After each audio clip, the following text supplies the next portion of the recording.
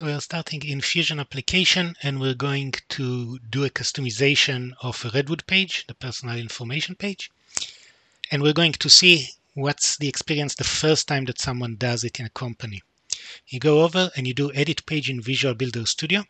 This would open Visual Builder Studio and if a project hasn't been created before, you'd be prompted to create a new project.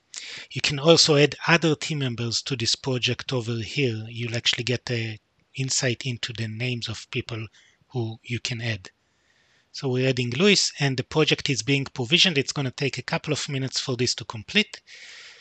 And at the end, I, when it's completed, you'll be directed into the express mode editor for your page that you were on. Now, I'm not going to actually edit the page right now. I'm going to go into advanced mode setting. And before I go into my project, I'll show you that I'm currently working as Curtis in this specific branch of the code that was created for me by Visual Builder Studio. So now we're back in our project and you can see we have a workspace. It's my local copy of the code. We have an environment and we have a Git repository. In the Git repository, we have my branch, but there's also the main branch over there. The main branch is needs of protection. So we're going to go into project administration, branch protection, and we're going to pick our Git repository and add a rule that will protect the main branch. This would require a review by someone in our team before we make changes to this branch. In this case, Curtis is going to be the reviewer. You can have other settings over there if you need to. We are also going to go into the build section and look at the deploy job that was created for us. This deploy job takes our changes and deploys it onto our instance. What we need to update here in the step is the username and password for the user that is allowed to deploy to our environment. You can see the name of the environment in the target instance. Let's save this and we can now go back into our project home. If you later need to add more team members, this is where you do it. There's an add member button over here. All right, so this was me working as Curtis. I'm going to now exit and sign out from the Curtis persona, and I'm going to log in as a different user, the other user that was added to the project, Luis. And what we're going to see now is the experience that Luis is going to have when he's going in to customize another page in our application. So Luis is going into the journeys page or the journeys model. It's going to look at various pages, decide on the page he wants to customize, and then use the regular edit in Visual Builder menu option. Because the project already exists, he's going to be directed into this project, but we're going to create a separate workspace for him with his own branch of the code. So he's in express mode. He can now go over and modify aspects of the page. For example, we're going to change the show create journey button up here from true to false. Once I did my changes and I'm happy, I can click the publish button. Publish takes my changes and aims to push them into the main branch. You can actually see the files that were changed listed over here. You can also see that Curtis is a reviewer of those changes.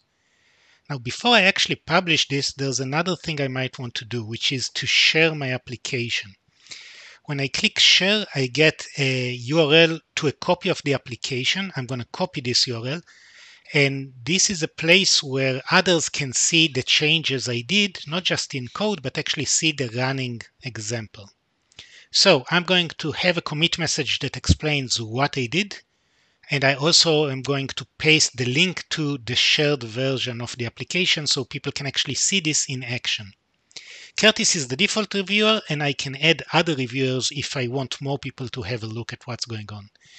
Then I'm going to click publish. This is actually pushing the changes and creating a merge request that Curtis can review. This is all coming from my own branch of the code, so it's independent of anything that Curtis has done before. Still as Luis, we're going to switch over to another module that we might want to customize. For example, we can go into the personal info and the personal details start page.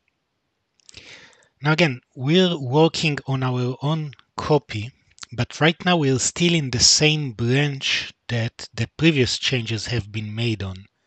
So what we would want to do now is we would want to switch to another branch, which is what we're going to do here. We're going to uh, create a new branch from the changes of main though, and we'll give it a name.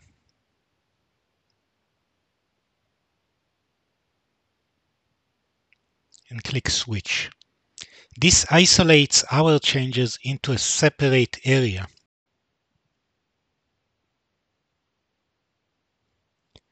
So for example, over here, we can create a new rule, I give it a name and potentially a description as well.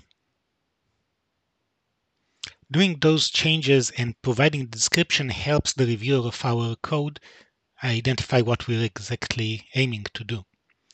And we can design a new uh, condition here, for example, say that we're limiting this change to employees who are in the United States. And then we can choose, for example, to hide the whole biography information section. So those are our changes.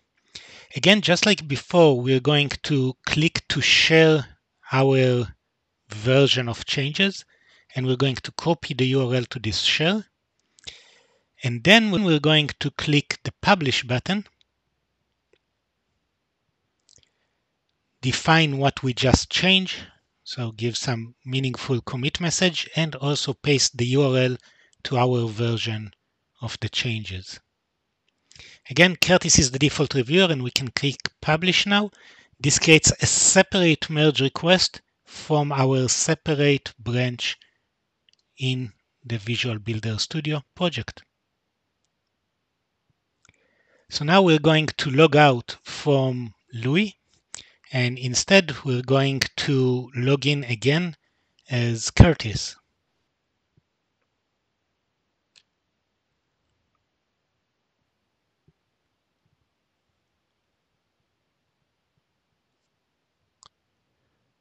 Curtis is going to navigate directly to our Visual Builder Studio. So this is under Configuration Visual Builder. This would open the interface for Visual Builder Studio and we still see our project. If I go to my project now and look at the recent activity, I can see the changes that Luis did and the various branches and merge requests that those changes were done in. So let's go into review one, for example. And we can see the change, we can see the URL, we can even see the changed file. And if we're ready to approve this, we can click the approve and merge button on the right side. So this is one of the changes. This is the first merge request. If I click on merge requests over here, I can see the other request as well, which is separate and I can approve uh, and merge this specific change when I want to.